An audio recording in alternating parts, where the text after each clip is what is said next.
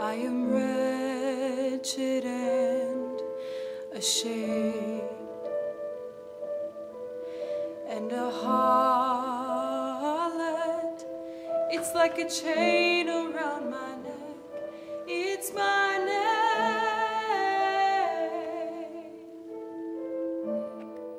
So here's the classic example of a shamed member of society, the harlot.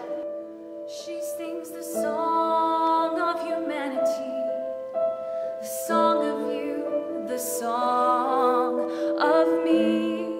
She is the embodiment of all the shame that every human being feels at some point in life when they come face to face with the reality of their own guilt.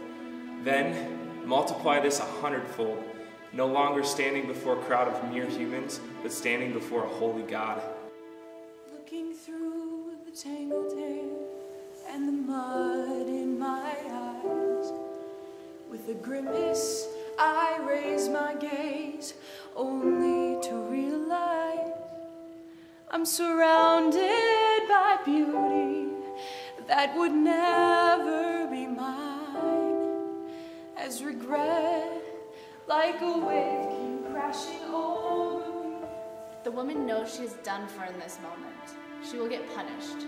She will get what she deserves. But the crazy part is that instead of that, she hears something totally different. Something that blows her mind. And I heard a voice like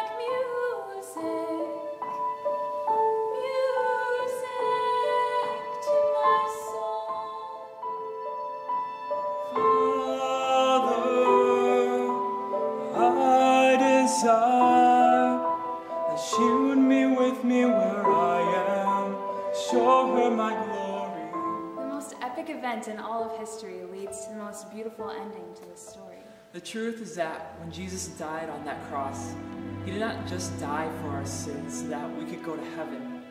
When he died, he broke the power of shame, the shame of every one of his children. This is a story a story that is radical and powerful, one that can change